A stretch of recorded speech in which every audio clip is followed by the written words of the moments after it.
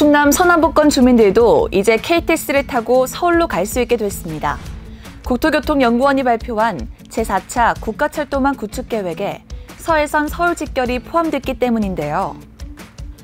홍성에서 출발한 서해선을 화성에서 평택까지 6.7km 연결해 경부선 KTX와 잇는 계획입니다. 지금까지 충남 서남북권 주민들은 장항선을 타고 서울을 오갔는데요. 이제 서해선 KTX를 이용할 수 있게 됐습니다. 이렇게 되면 서울에서 홍성은 45분으로, 서울에서 대천역은 1시간, 서천역은 1시간 10분으로 시간이 단축됩니다. 서해선의 미래가 대한민국의 미래입니다. 이제 황해 시대에는 충남과 서울에 있는 서해선이 국가 발전에 있는 중심축이 될 것입니다.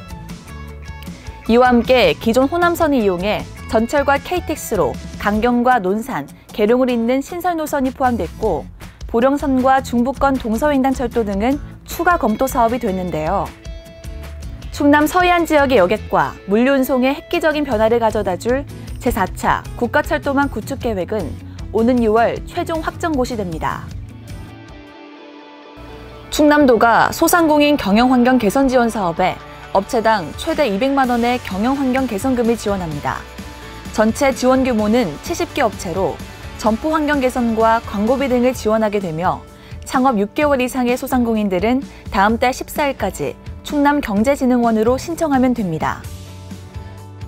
충남도는 노후화된 산업단지를 지역 특성에 맞게 개선하기 위해 충남 산업단지 대개조 계획 수립 용역을 추진합니다. 충남연구원과 충남테크노파크 등이 추진하는 이번 용역은 도내 노후산업단지 10곳을 선정해 산업단지 발전 전략과 사업 목표 등을 수립해 정부가 공모하는 개조 사업에 참여하게 됩니다. 충남도가 민원 서비스 품질을 높이고 상담 과정의 분쟁을 예방하기 위해 도 본청과 도의회, 직속기관 등에서 사용 중인 행정전화기에 녹취 시스템을 도입합니다. 녹취는 민원 응대 중 녹음이 필요할 경우 담당자가 상대방에게 동의를 구한 뒤 진행되며 녹음된 통화 내용은 개인정보보호법 등 관련 법에 따라 관리하게 됩니다.